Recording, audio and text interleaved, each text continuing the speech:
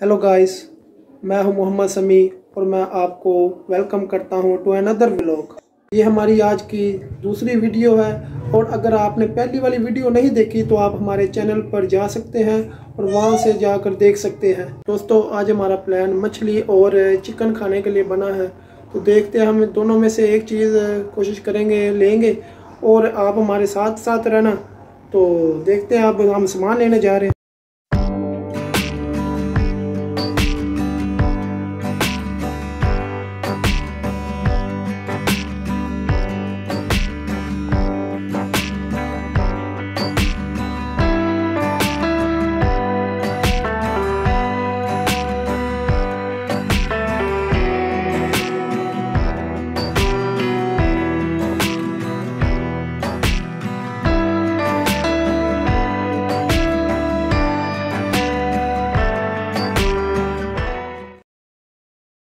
दोस्तों, हम अपने घर से निकल चुके हैं। मैं मैं अपने मामू और दोस्त के साथ निकला हुआ हूँ और अब निकलने लगे हैं।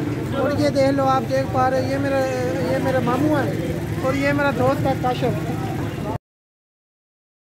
तो गाइस इस वक्त मैं जहाँ मौजूद हूँ हम मछली वाले के पास पहुँच चुके हैं और इस वक्त बहुत शोर हो रहा है, ट्रैफ़िक जाम हुई है तो आप देख पा रहे होंगे। ट्रैफ़िक जाम है, ये ट्रैफ़िक जाम है और अभी देखते हैं मैं अपने मामू से मिलाता हूँ तो हमने हमें ली है। ये आप देख पा रहे होंगे, अब इसको हम कटाई वगैरह करेंगे।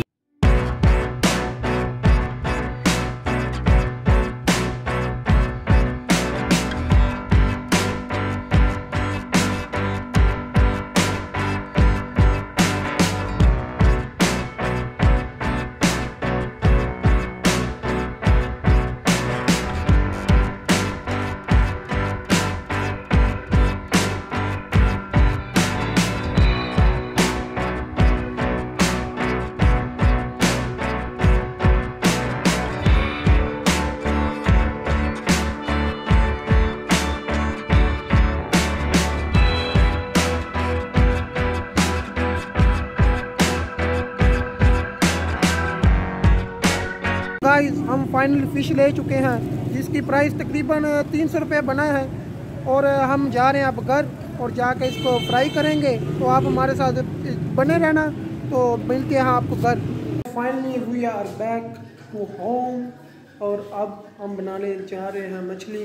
ये मेरे मामू मछली धो रहे हैं। इसके बाद मसाला लगाया जाएगा। और हम कोशिश कर रहे हैं कि हम छत पर जाकर ये मछली तैयार करें। और ऊपर ये भी मसला ये है कि बारिश भी होने वाली है तो देखते अब क्या करना है। तो गाइस आई एम बैक तो दोस्तों इस वक्त रात है, रात हो रही है हमारे यहाँ, और फ्रूट चाट वगैरह हमने सोचा कि उसका प्लान किया था तो हम फ्रूट चाट भी ले आए, और उसी अरसे दौरान कुछ और भी काम आ गए थे तो वो किए हैं। और अब आपको हम हम आपके साथ होंगे और आप हमारे साथ बने रहिए। तो गाइज़ मैं आपको अभी फ़ूड फ्रूट चाट दिखाऊँगा जो हमने, मेरे दोस्त काशिफ ने बनाई है।